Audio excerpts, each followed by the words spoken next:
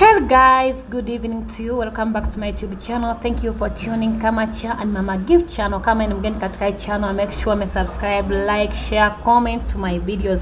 Okay guys, asanteni by the way kwa kuchoose, kwa upendo, kwa support yenye ambao mna support katika hii channel. And guys, wale wenye ambao mmeweza kusaidia na wenye zetu ma comments pale kwa hizi video ninazoweka kutoka kwa wale wasichana wanaokuwa Saudi Arabia. Aki ninasema ni asante guys. Wacha tu niwaambie ukweli wa mambo. Watu wako huko nje na wanateseka huko Saudia. Mtu anashindwa atashare na kina nani. That's why nimechukua hii advantage ya kuweza kushare na wasichana at least watuambie wanapitia nini gani. At least the more tutashare pamoja, unaweza kuwa uko na comment yako itamsaidia, maybe atasoma hiyo comment nikaweze kumsaidia. Na tangu nianze hii kitu guys, by the way, nimeona kana kwamba tunasonga mbali na watu wa, tutasaidia mioyo yao kuliko wakae ndani wakilia peke yao, kana kwamba wanaona hawana mtu wa kuwasaidia wala wa kushare nao. That's why nimechukua hiyo majukumu ya kuweza kuanza kushare nao. So guys, by the way, I'm back with another new video this evening. Hey, wantu wangu, wantu wangu, hii nayo sasa sikucheka guys, hiyo nayo, hii nayo ni moto. Hmm. We kama unajua uko Saudia, nakwambia na unafanya kazi eh? Unamaliza contract yako, unarudi nyumbani, unarudi nchi yenu, kama uko mzima, unafaa kuambia Mungu asante. Na kama penye uko at least wewe uko na amani, uko na peace of mind eh, hebu ambia Mungu asante. Hmm. Nakwambia nimeona vituko kwa hizi masiku tu chache, na tangu nianze tu hivi watu wamenitumia nini mingi sana. Nitakuwa kila siku napatia video moja moja guys. Hmm. Okay. Mm-hmm. Banasemanga ya, ya dunia ni mengi ya kuku ni mayai, lakini guys, hata mimi leo nimejionea watu wangu. So huyu msichana mwenye mnamuona tu hapo, mnaona tu hiyo mkono, mnaona tu hiyo mkono. Wachani niwaambie, Waarabu ni mashetani, Waarabu ni mashetani.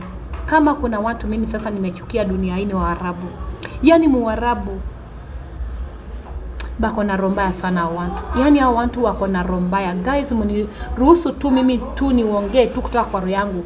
Kama mtu anaweza tu fanyia mwenye zake kitu kama hii yenye mnaona hapa saa hii tunaona saa hii, sio poa hmm? Sasa huyu msichana venye mnaona tuyo mkono yake, ananiambia kana kwamba yeye ameenda Saudi saizi ako na miezi sita. Huyu msichana alipofika pale Saudia, baada ya wiki moja, bosi yake alimwambia kana kwamba anafaa kumpeleka hospitali guys, aende akadungwe shindano, sijui zinakuanga sijui ati za kuzuia homa, yani ati za kuzuia asikuwe akigonjeka gonjeka anapokuwa pale Saudia. Sasa akaambia msichana wenyewe namna hii namna hivyo msichana wenyewe sasa, unajua yeye ni mgeni pale, akamwambia tata, wale wasichana nyamba wamekuwa wakinifanyia kazi hivyo, ndio nilikuwa nawapeleka, wanafanyiwa hivyo. Mtu aikaa katika hii nyumba afanye nini? Agonjeki. Na akamwambia bado kuna dawa ingine utapatiwa na meza mara moja, pia hiyo inakusaidia utawahi gonjeka ukiwa hapa mpaka wakati utamaliza contract yako. Sasa kumbuka, msichana yeye si ni mgeni, bosi si ndio kusema, akaamka tu asubuhi moja, bosi akamweka ndani ya gari akampeleka. Guys, guys. Hmm. Alipopeleka msichana wenyewe watu wangu alimfikisha hospitalini. Ati walipofika kwa hospitali yeye alikaa room moja na akaingia huko ndani boss akaongea na daktari. Daktari akakuja akamdunga shindano yenye mnaona hapo kwa mkono. Hapo ndiye alimdunga shindano. Hapo. Baada ya miezi nini wiki mbili msichana shindano ilianza kuuma na kukatoka uzana kuka anza kugonjeka. Sasa mnaona venye imebaki ni shimo, yaani imebaki shimo kubwa, na bosi wake atai kujua, amrudishe hospitali hata atibiwe. Msichana amejaribu kumwonyesha boss, atai kujua, na amekuwa mkali, anamfanyisha kazi. Kumbuka mkono imefura, kuna shimo, na anafanya kazi, namwambia kama punda, anafanya kazi kama punda hmm? Nawaambia watu wangu Haki huyu msichana sijui ni advice gani mtampatia. Mimi nimelia machozi baada ya huyu msichana kunitumia hiyo picha. yani nimesikia vibaya. Yaani nimemwambia tu ajaribu maji moto, aweke kachumbi yani ajaribu. Yaani msichana anasema amejaribu yote lakini hajamsaidia. Na akijaribu kuambia bosi wake, bosi hata ana shughuli hata kidogo. Yaani yeye ashughuliki hata kidogo watu wangu. Hmm? Sasa ninawaomba tu. Wewe unaona msichana anaweza akamsaidia namna gani? Afanye nini? Hmm? Na kazi lazima afanye kazi lazima amkie kazi afue na anafua nguo daily basis.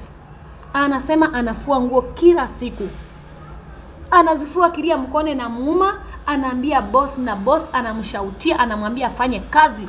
Au wengine mbona walikuwa nadungwa hiyo shindano na hawakuwahi fanyika namna hivyo. Sasa mimi nauliza guys, hiyo ni shindano gani yenye msichana wenyewe alidungwa? Hiyo ni shindano ya aina gani hmm?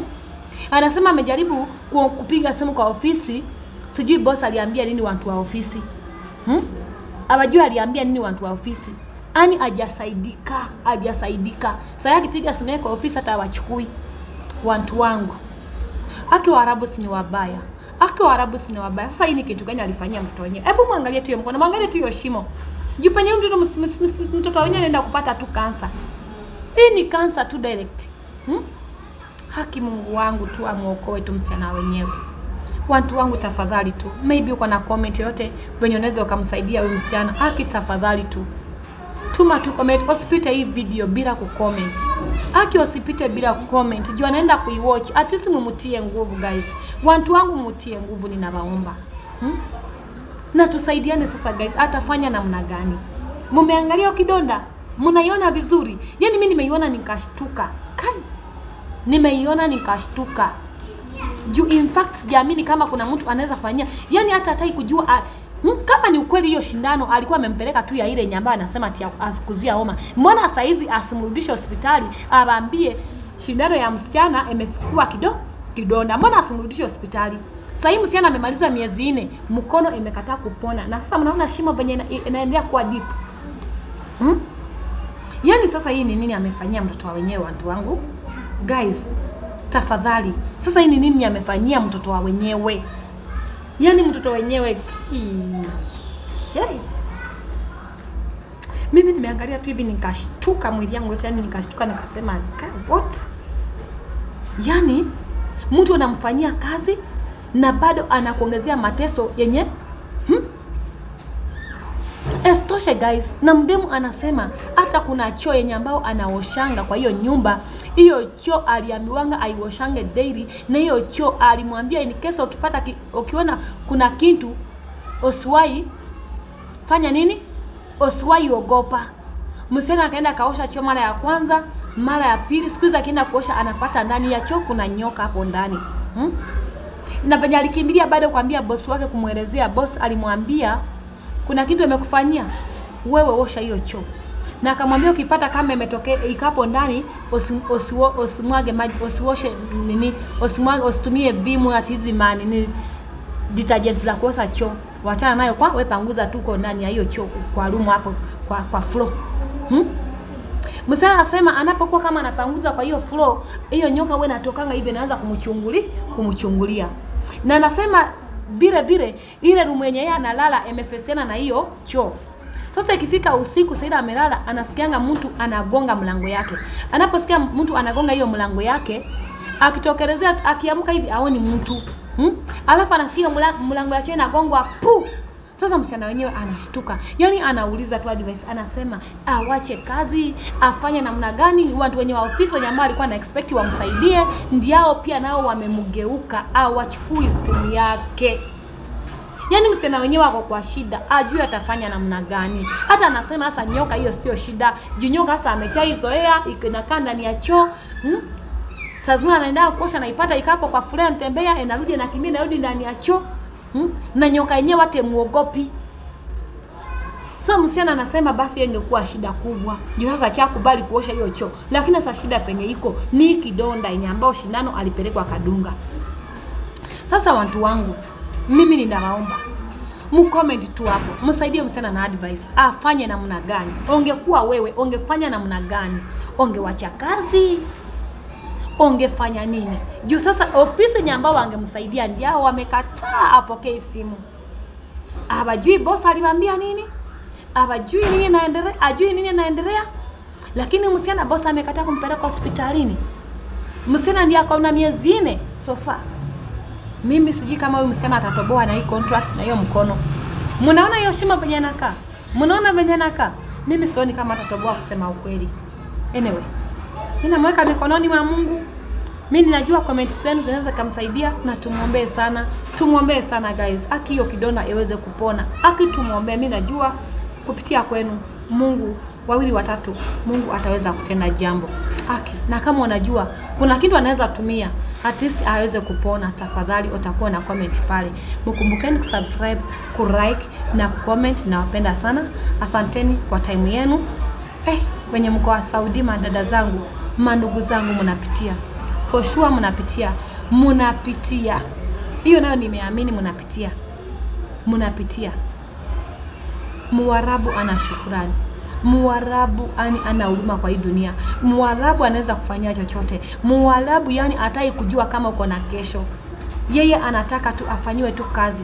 Mtu kufikia kwa hii condition hiyo kidonda venye anakaa hivi na bado mtu anataka umfanyie kazi anataka tu bado umfanyie kazi na hata atumie akili hata kusema akupeleka hospitalini Hmm? That's why ninasema yeye mwenyewe ndiye anajua kwa nini alimpeleka akadungwa hiyo shindano. Juu kama usiki, mbona asimpeleke hospitalini? Swali yangu ni je, kama usiki, mbona asimpeleke hospitalini? So guys, mlike the video, msubscribe na mshare. Hiyo ndio iko kwa leo, tupatane kesho. Hmm.